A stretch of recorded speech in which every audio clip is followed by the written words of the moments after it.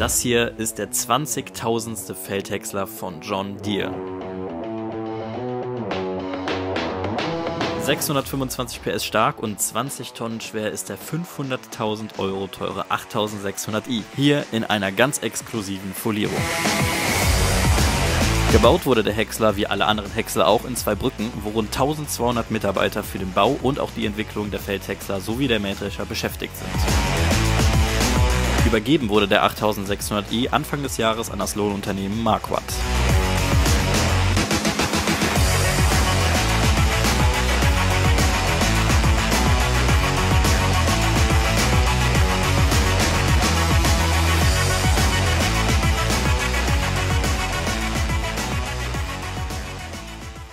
Den 20.000. Feldhäcksler gucken wir das alles noch mal ein bisschen von oben an.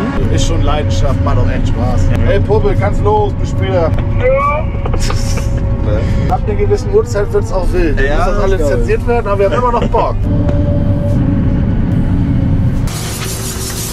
So Leute, ich bin jetzt irgendwo in der Nähe von Lübeck und hier steht heute Maishäckseln auf dem Plan, aber nicht mit einem ganz normalen Häcksler, sondern dem 20.000. Häcksler von John Deere. Der hat so eine ganz spezielle Folierung.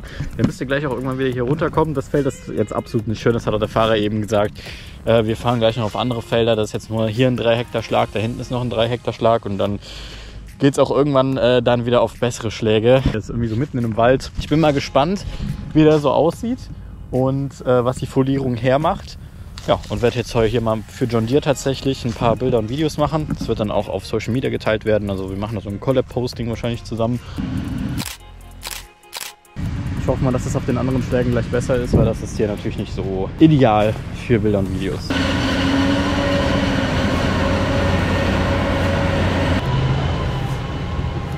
hier ist jetzt ein bisschen Stau, der muss raus, der eine muss rein, da ist noch einer irgendwo so, okay, der Häcksler fährt weiter, perfekt.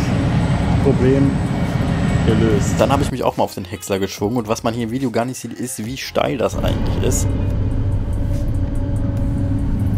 Deshalb ist auch hier der eine Trecker mit der ersten Karre schon mal stecken geblieben, weil es da wirklich sehr, sehr, sehr steil war und dann kam der andere von oben quasi runter und hat dann übernommen.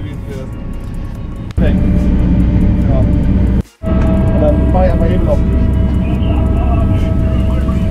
drei Hektar waren dann auch irgendwann mal geschafft und dann ging es zu einer richtig, richtig schönen Fläche, direkt an dem See. Und da konnte man dann auch mit der Drohne endlich mal hochfliegen, mal ein paar schöne Bilder machen. Mit dem See im Hintergrund war das natürlich super. Und da es nur eine Ein- und Ausfahrt auf diesem Feld gab, mussten erstmal die ganzen Abfahrer noch hinterherfahren, bis quasi einmal rundum gehext worden ist. Ja, deswegen sind da diese Szenen entstanden.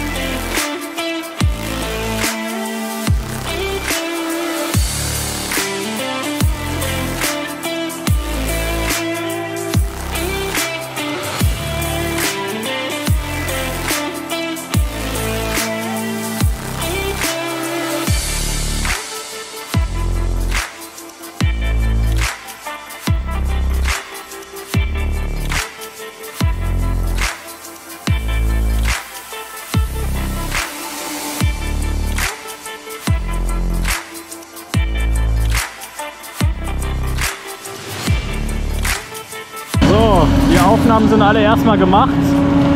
Jetzt gehe ich selbst nochmal drauf mit den Kollegen.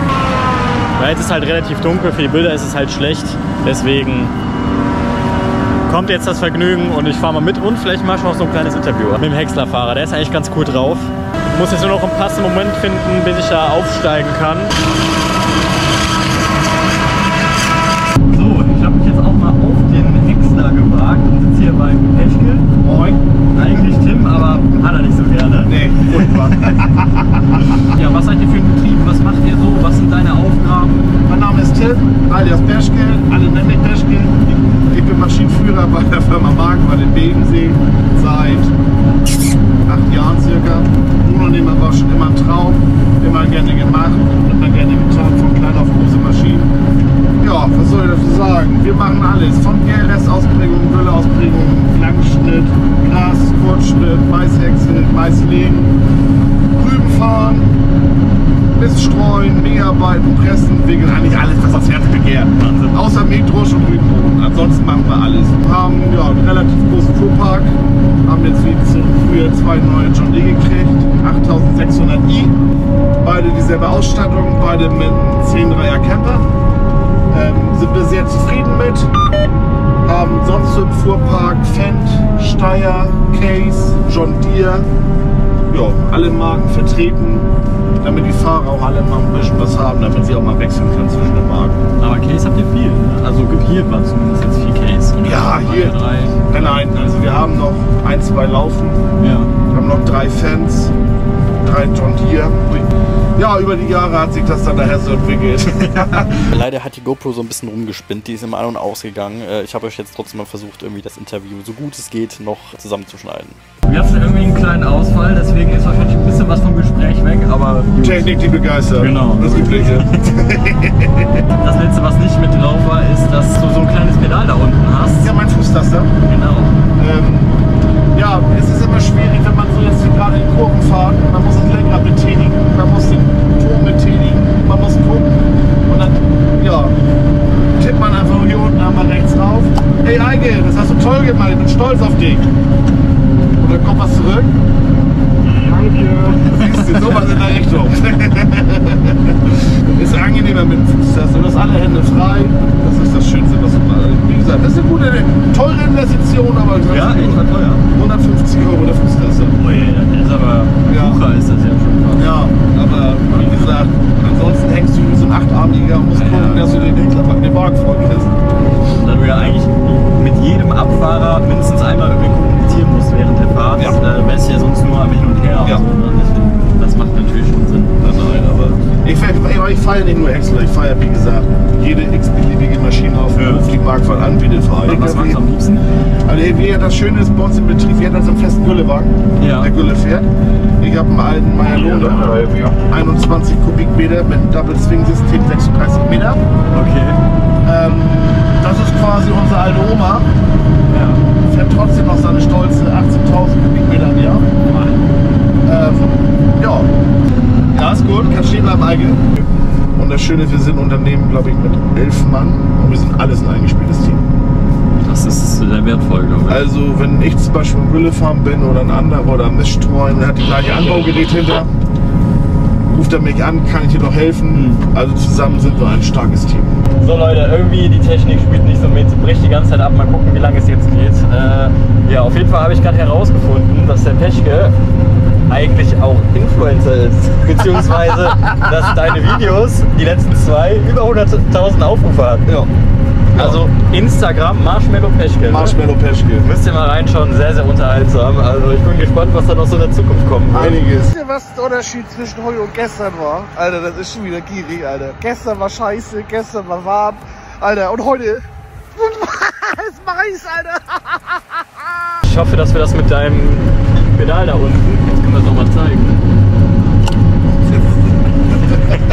Dass, das, dass wir das irgendwie drauf haben, also das ist auf jeden Fall viele Kommunikation, weil Ja. du musst ja viel reden, du musst mit jedem Abfahrer sprechen, weil Musst die du voll ist. anpöbeln, ne? Genau. Erpressungsgeld rausholen, Schleim, Ja. ne? Bier haschen. Das hat man schon öfter gehört, also mit Schleim tust du schon viel. Ja, tu ich auch. Ja. Ne? Liga bestecken nicht auf, wie ich häckseln soll. Ja. Gibt es eine Sache, die du so am liebsten machst? Ah, das ist schwierig. Das ist richtig schwierig. Okay. Im Frühjahr bin ich heiß auf Gülle und im Herbst heiß auf Mais. Okay, also, okay, ja. Schwierig. Aber immer Häcksler fahren, ne? Also nicht abfahren, sondern. Nee, kein Ab nein, nein, nein, kein dressierter Abfahraffe. Nein, nein, Okay. nein, nein.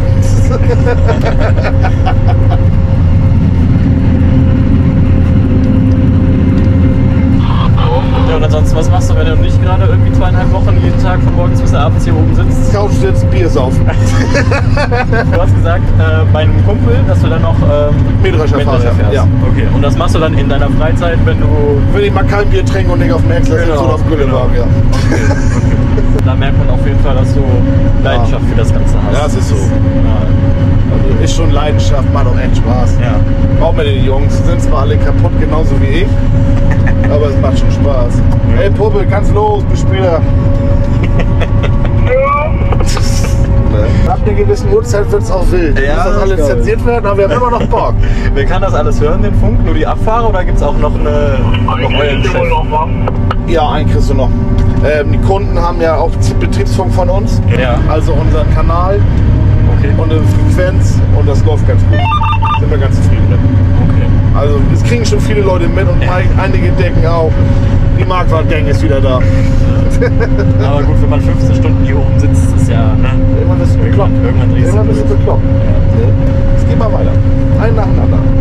Das ist ja nicht mehr schon. Dann noch 10 Minuten. Ja, genau. Wenn du irgendwann mal live streamst, sag mir mal Bescheid. Ich bin der Erste, der da einschaltet und sich das reinzieht. Ja? Ja. Ja, ist okay. Autogramme Ich gibt es in jeder vollen Stunde. Ja, okay, ist gut. okay. Live und in Farbe. Ich bin sehr gespannt, wie sich das bei dir entwickeln wird. Ja. Also mach, mach weiter, wenn du Bock und Zeit dazu hast. Das ist sehr unterhaltsam. Das kriegen wir hin. Das kommt. Was ist das eigentlich so für ein Wartungsaufwand mit so einem Gebiss? Also ich muss sagen, dadurch, dass du einen großen Teller hast, ist es relativ wartungsärmer wie mit den Kleintellern. Ja. Ähm, alles viel Verschleißbügel und Verschleißkunststoff. Also das ist Wartung und Pflege. Ich habe festgestellt, man kann das, dieses Gebiss auch super waschen. Okay.